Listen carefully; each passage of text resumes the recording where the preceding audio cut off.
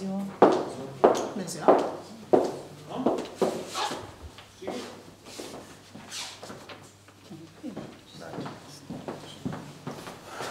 Bună ziua! Ne spuneți când putem începe? E bine, da? Bună ziua tuturor! Uh, vă mulțumim că ați dat curs invitației de a uh, veni la această conferință de presă. Uh, fracțiunea Partidului Acțiune și Solidaritate a ținut să vină cu câteva mesaje legat de legea, proiectul legii bugetului, proiectul politicii fiscale și alte documente importante care țin de planificarea pentru anul 2020. Din păcate, pentru noi toți, în prima lectură, în ședința din prima lectură, ați observat cu toții că a fost un gen de maraton. Un maraton în care nu prea am avut parte să adresăm întrebări, să aflăm răspunsuri la întrebări din partea autorilor. De aceea am zis că ne concentrăm pe elaborarea de amendamente, astfel ca în lectura a doua să venim cu contribuțiile noastre a fracțiunii la uh, aceste documente. Uh, așa cum uh, vorba uh, clasicilor diavolul se ascunde în detalii, uh, am uh, găsit și noi unele uh, momente, unele uh, inițiative care au trezit semn de întrebare și uh, o să pregătim, am pregătit deja amendamente pentru a, a clarifica Uh, acele momente care nouă ne par uh, destul de interesante și la care domnul ministru a finanțelor, cât și echipa dumnealui, nu prea a putut uh, veni cu un răspuns. Deși, cum spuneam noi, în mare parte ei au preluat, în foarte mare parte, proiectul bugetului pe care l-a elaborat guvernul Maia Sandu. Acestea fiind spuse, am să rog colegii să prezinte principalele inițiative cu care noi o să venim Um, pentru lectura a doua. Colegi? Bună ziua! Um, după cum cunoașteți, săptămâna trecută, guvernul Chicu a propus, iar coaliția PSRM-PD a adoptat în prima lectură un buget cu un deficit bugetar de 7,5 miliarde de lei și cu surse de finanțare nesigură. În primul rând, uh, vreau să reiterez importanța uh, clarificării utilizării soldurilor autorităților publice locale. Uh, în proiectul bugetului de stat se intenționează utilizarea 884 de milioane de lei din solduri, uh, soldurile, uh, din mijloacele soldurilor neutilizate. De aceea, uh, o sursă de finanțare ar uh, fi uh, luarea banilor de la, în primul rând, autoritățile publice locale. În al doilea rând, reiterăm importanța clarificării înainte de a doua lectură a bugetului uh, a listei bunurilor pasibile pentru privatizare. Reamintim că în acest buget este inclusă suma de 700 de milioane de lei uh, ca venituri din privatizări. Și este foarte important ca cetățenii acestei țări să înțeleagă deci care este prețul Uh, acest, acestui deficit bugetar și uh, ce va trebui să vândă statul sau ce active va trebui să vândă statul pentru a acoperi acest deficit bugetar.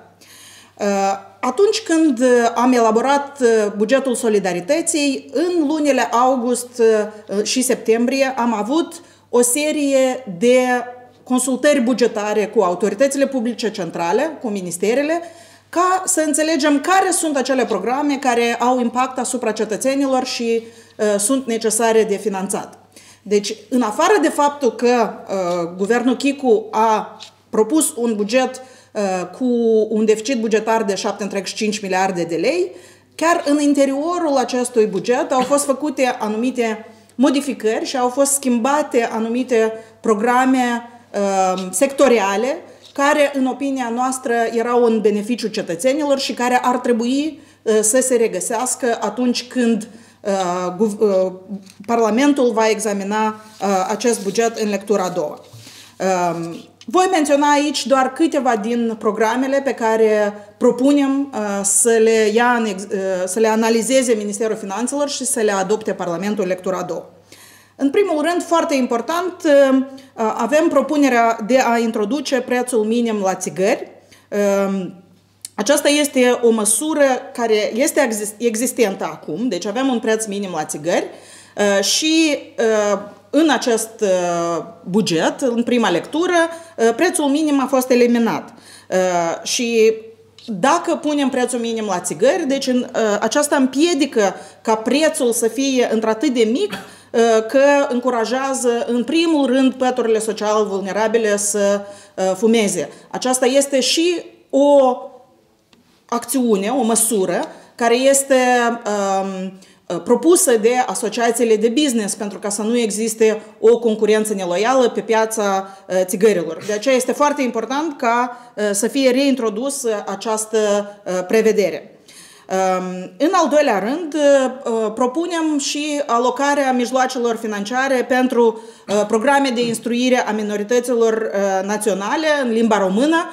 Deci întotdeauna am promovat Uh, pentru cunoașterea limbii române, uh, niște acțiuni ferme din partea statului pentru a promova uh, studierea limbii române. Mai menționez câteva programe sectoriale care se ridică la o valoare de circa 500 de milioane de lei și care au fost eliminate de guvernul Chicu și în opinia noastră ar trebui să se regăsească în lectura a doua. Deci, în primul rând, deschiderea consulatelor în Montreal, Sacramento, Torino și Bologna, Cunoaștem că cetățenii noștri au nevoie de consulate care să le fie în apropiere și să le presteze servicii calitative. Mai multe în privința programelor pentru diasporă va vorbi și colegii, vor vorbi și colegii din Parlament. Este important să fie alocați bani pentru reconstrucția sediului Oficiului Avocatului Poporului pentru a asigura funcționarea acestei instituții și respectarea drepturilor omului, modernizarea sistemului informațional al Parlamentului și implementarea conceptului de e-Parlament. De mai mult timp, societatea civilă solicită ca voturile fiecărui deputat să fie cunoscute și un asemenea sistem informațional ar permite urmărirea acestor sau monitorizarea voturilor individuale executarea lucrărilor de reabilitare a izvoarelor, de asemenea susținerea proiectelor asociațiilor obștești pe dimensiunea minorităților naționale, susținerea implementării unui plan național de acțiuni de dezvoltare a competențelor parentale, pentru că părinții sunt primii care contribuie la educația copiilor și multe altele. Uh, colegii din fracțiunea Partidului Acțiune și Solidaritate din Parlament au formulat uh, aceste amendamente și le-au propus uh, pentru lectura a doua. Sperăm foarte mult ca Parlamentul să susțină aceste programe care sunt de fapt formulate pentru în beneficiul cetățeanului. Da, mulțumesc mult și scuză bună ziua. Eu o să mă refer la amendamentele pe care noi le-am propus deja ce se ține de politica fiscală pentru 2020. În primul rând, eh, vom, eh, am venit deja cu un amendament pentru a menține accizul redus de 50% pentru mașinile hibrid. Eh, după părerea noastră, este o măsură extrem de necesară pentru a proteja mediul și este, de fapt, foarte ciudat că în timp ce toate guvernele lumii încearcă să promoveze prin orice metodă, inclusiv și metodă fiscală, electrificarea mașinilor și promovarea transporturilor eco, iată că în Republica Moldova Ehm, aceste tip de transporturi se descurajează, deci este foarte important să, să menținem această uh, cotă redusă. Ehm, ceea ce este interesant că avem toate, ehm, eu știu, dovezile că este această măsură de a aduce accizele la mașini hibrid la nivelul celor obișnuite, cumva favorizează anumiți importatori care ar fi afiliați cu PSRM Ehm, de asemenea, venim câteva prevederi la politica fiscală care să vină în ajutorul micilor antreprenori. Ehm, sunt măsuri care vin să micșoreze birocrația și volumul raportărilor la autoritățile publice. în primul rând, O să enumăr câteva din ele. În primul rând, uh, propunem acceptarea cecurilor emise de mașinile de casă în calitate de documente conformative pentru a confirma cheltuielile. De multe ori, antreprenorii fac cheltuieli, uh, cumpărături foarte mici uh, pentru care sunt nevoiți să piardă o grămadă de timp pentru facturi fiscale. Deci această măsură va permite economisirea a foarte mult timp. De asemenea, propunem excluderea locului de ștampilă din facturile fiscale, o altă măsură ar fi acceptarea facturilor fiscale uh, scanate și trimise prin e-mail ca dovadă contabilă. Această măsură ar fi în special utilă pentru agenții economici care uh, se află la, la distanță mare și care fac tranzacții. De asemenea, uh, micșorăm numărul de rapoarte care trebuie depuse de SRL. Propunem instituirea unui singur raport unificat pentru SRL-urile care se află în primii trei ani de activitate. De asemenea, um, un amendament se referă la transparentizarea normelor de creditare bancară pentru întreprinderile mici și mijlocii. Uh, deci uh, ne dorim ca uh, măsurile de transparență care se aplică deja consumatorilor, persoanelor fizice, să se, se aplice de către bănci și în raport cu întreprinderile mici și mijlocii. Și în ultimul rând, venim să simplificăm modul de utilizare a facturii electronice, să flexibilizăm, de fapt, utilizarea acestea, prin, prin posibilitatea de a emite e-factura la 3 zile până la livrarea mărfurilor și la 10 zile după eliberarea serviciilor. Aceste măsuri au fost consultate cu uh, întregul mediu antreprenorial și sperăm că guvernul o să audă uh, vocile acestora și vor accepta aceste amendamente la politica bugetară fiscală. Mersi mult, deja colegii o să prezinte alte subiecte. Mersi. Bună ziua tuturor! Eu am să mă refer uh, pe scurt la propunerile pe care noi le avem, uh, care țin de salarizare și politica uh, socială în special. Deci avem trei inițiative de bază cu care venim astăzi în fața dumneavoastră. Majoritatea dintre ele se regăseau în bugetul solidarității, ele au fost scoase de către guvernul Chicu. Noi considerăm necesară reintroducerea lor în buget. În primul rând vorbim despre reintroducerea premiului anual, pentru ca fiecare bugetar din această țară să poată să beneficieze o dată pe an de o măsură suplimentară de stimulare și anume premiul anual în valoare de până la jumătate dintr-un salariu de bază. Ce înseamnă asta în termeni concreți? Deci asta ar însemna că, de exemplu, un cadru didactic începător ar putea să beneficieze de încă 2600 de lei o dată pe an ca o formă de stimulare în cazul în care a înregistrat anumite performanțe. Un cadru didactic deja cu experiență ar putea să aibă până la 4200 de lei în calitate de spor anual pentru rezultatele bune pe care le-a obținut în măsura în care există fonduri disponibile. Regretăm că guvernul Chicu a renunțat la această idee, deși ea este pe larg susținută în special de către sindicate și de către uh, întreg sectorul bugetar. Considerăm absolut imperativ ca ea să fie reintrodusă în versiunea în care exista în bugetul solidarității. În al doilea rând, venim cu propunerea de a reveni la ideea lansării unui nou program de asistență socială și protecție socială, mai bine zis, pentru pensionari, și anume programul Ajutor la Contor, despre care am vorbit deja în nenumărate rânduri. Este un program targetat pentru acoperirea cheltuielilor la electricitate a celor mai vulnerabili pensionari. Cunoaștem foarte bine că costurile pentru serviciile comunale, cu regret, reprezintă o bună parte din sau consumă o bună parte din veniturile pensionarilor și considerăm că acest ajutor lunar de 50 de lei targetat pentru factura la electricitate le va fi de mare ajutor. Din nou, reiterez, este un program care a existat și la care s-a renunțat. Regretăm acest fapt și considerăm imperativ necesar el să fie reintrodus. În al treilea rând, avem o inițiativă propusă de către, din nou, mediul de învățământ. Cu regret, astăzi cadrele didactice, sau mai bine zis personalul didactic din instituțiile de învățământ special, deci acele um, persoane care lucrează cu copii cu dizabilități în instituții specializate, unde se află în special copii cu dizabilități severe, deci oameni care fac o muncă extrem de complicată, astăzi sunt salarizați mai prost decât cadrele didactice care predau în școli obișnuite. Considerăm acest lucru discriminatoriu, este un lucru care nu a existat înainte de aprobarea legii 270 de acele modificări care a venit guvernul Filip anul trecut, ba din contra, persoanele care lucrau cu copii cu dizabilități erau stimulate. După adoptarea acelei legi, cu regret, astăzi salariile lor sunt mai mici. Noi propunem să le echivalăm și să tratăm aceste persoane care depun uh, un efort deosebit pentru poate cei mai vulnerabili dintre noi, să-i remunerăm pe măsură și similar cu cadrele didactice din învățământul general. Și pe lângă asta avem un șir întreg de propuneri sociale pe care eu le voi da citire destul de rapid. Deci propune majorarea începând cu 1 ianuarie 2020 cu 100 de lei a indemnizațiilor lunare pentru întreținerea copilului până la vârsta de 2 ani pentru persoanele neasigurate și pentru persoanele asigurate pentru copiii până la vârsta de 3 ani.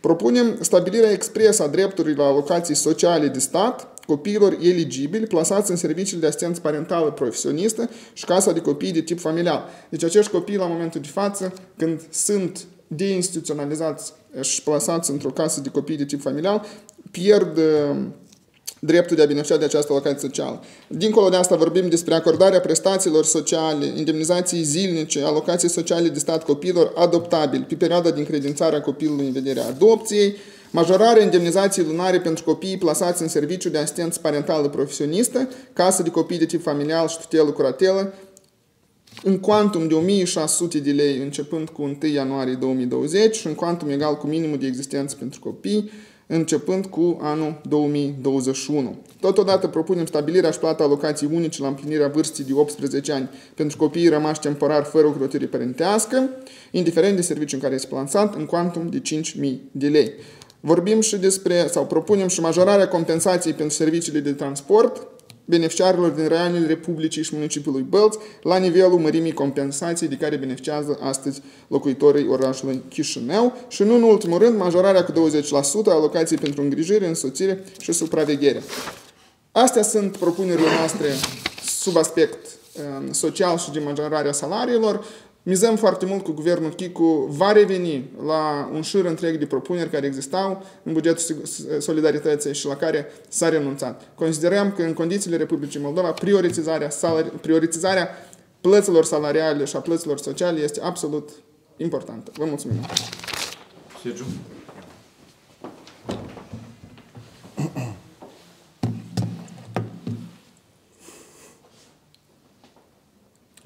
Eu am înaintat mai multe amendamente, atât la legea cu privire la, sau proiectul legii privind politica bugetar fiscală, cât și la legea, proiectul legii bugetului. Mă voi referi pe scurt la câteva din aceste amendamente care mi s-au părut mai relevante în contextul discuției generale de astăzi.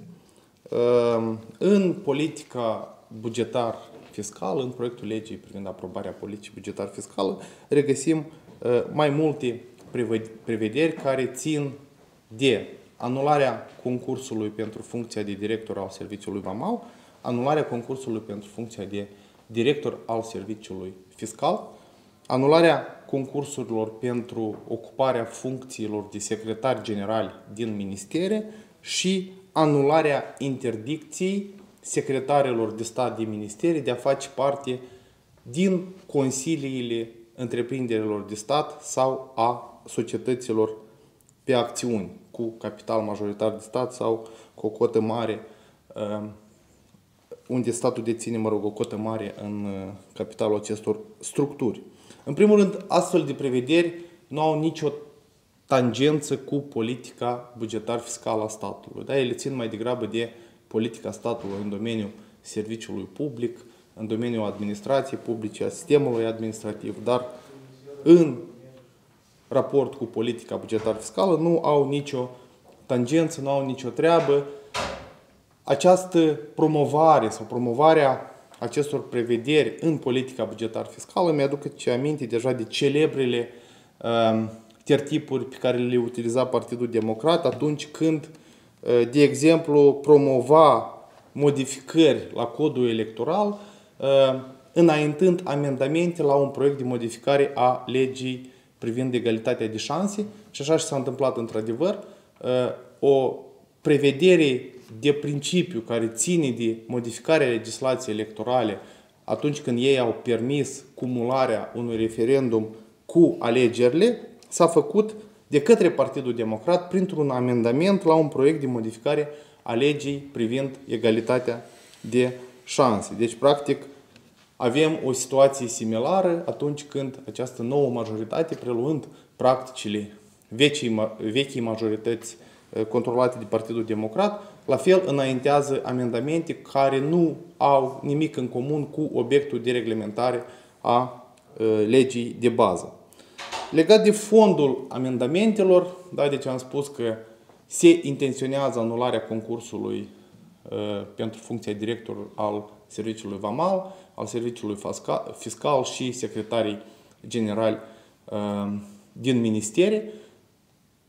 Este o prevedere proastă, este o propunere proastă din punctul nostru de vedere, pentru că, într-adevăr, concursurile nu întotdeauna garantează selectarea celor mai uh, perfecte persoane, adică ele nu garantează un rezultat în sensul în care știm sigur că urmarea concursului vor fi selectați uh, persoane perfecte.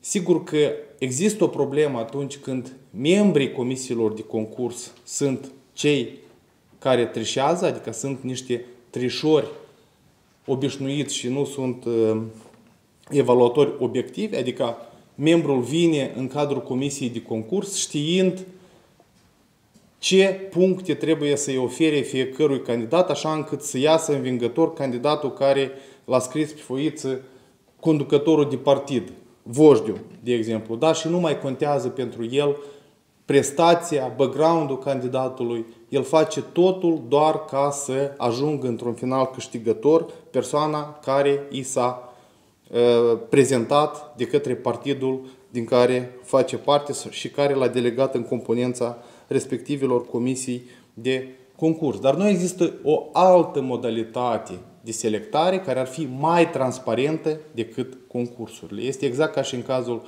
democrației.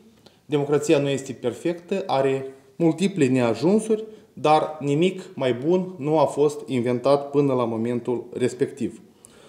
Uh, vreau să precizez că nici șeful VMI, nici șeful Serviciului Fiscal și cu atât mai mult secretarii generali din ministere nu sunt funcții politice. În cazul funcțiilor politice este o practică uh, unanim recunoscută când partidele numesc sau promovează în funcțiile respective, în funcțiile politice, exponenți a acestor partide, persoane care se bucură de încrederea personală, fie a conducătorului de partid, fie a conducătorului fracțiunii și, în general, sunt loiale partidelor care îi deleagă în aceste funcții.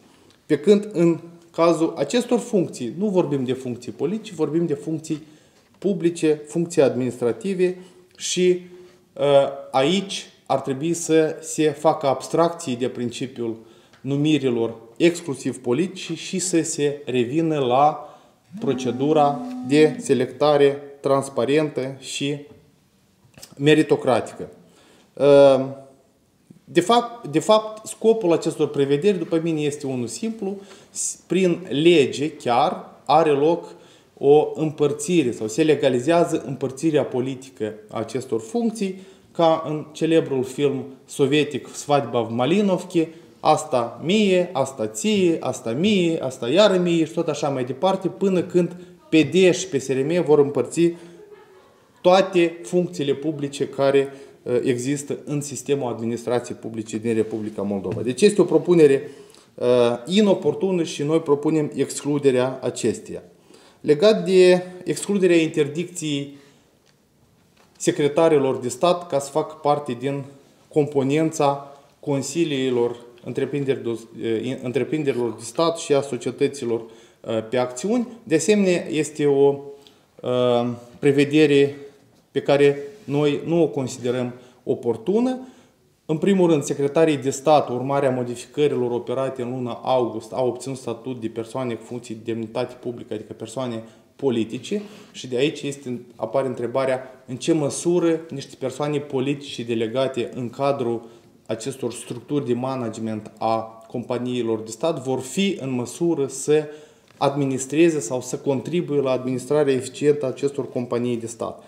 Și a doua problemă este aceea că cunoaștem foarte bine indemnizațiile în cadrul acestor companii de stat sunt de regulă destul de serioase, uneori ele ajung uh, până și la un milion de lei, dar în unele cazuri indemnizațiile care se plătesc membrilor acestor consilii chiar și depășesc cifra de un milion de lei. Și aici apare o problemă precum că aceste persoane, obținând aceste indemnizații, s-ar putea să doneze o parte din bani partidelor politice în acest fel, având loc o finanțare ilicită a acestor partide politice. Deci, formal, legea s-ar fi respectat, dar avem o problemă cu referire la caracterul sau probabilitatea caracterului liber și corect a uh, următoarelor scrutinii electorale, pentru că e clar că în cazul în care unele partide, PD și PSRM am în vedere,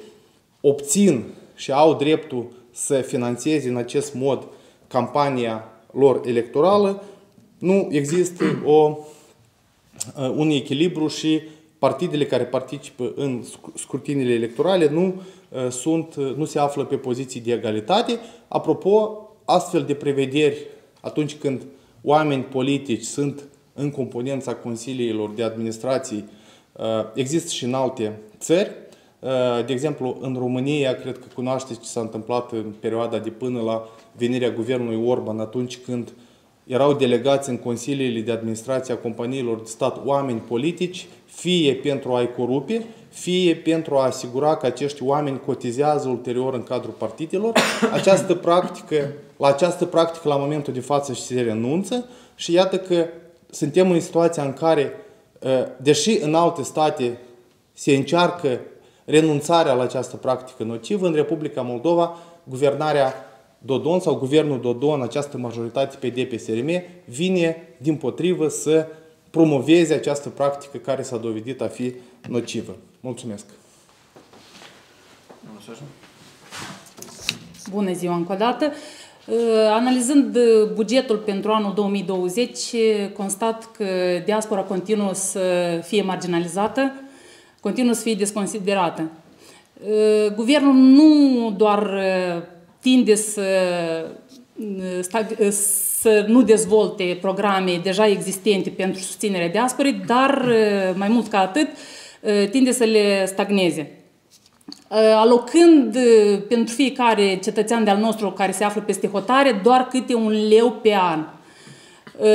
Tocmai cu un milion de lei mai puțin au fost alocați pentru susținerea diasporei în comparație cu anul trecut.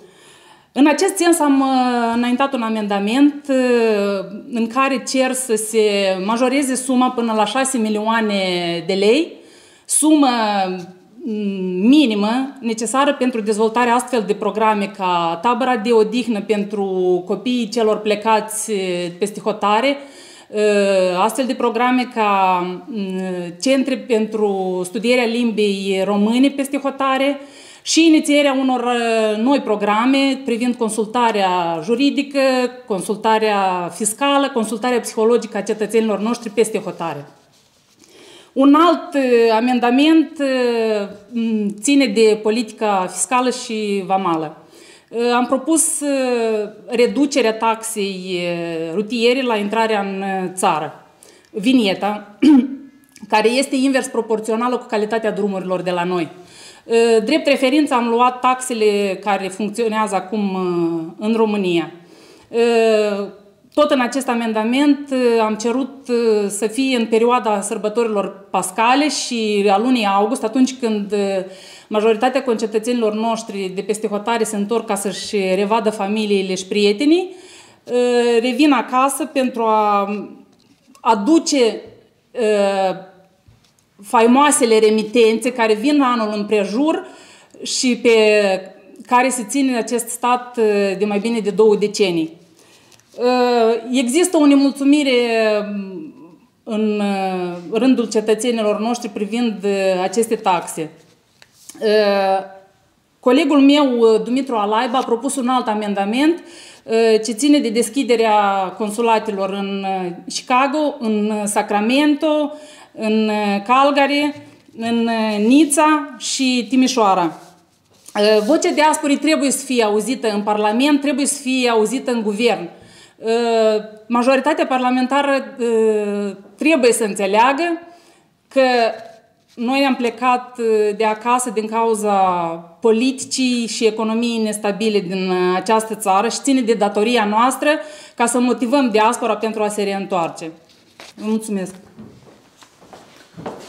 Mersi mult.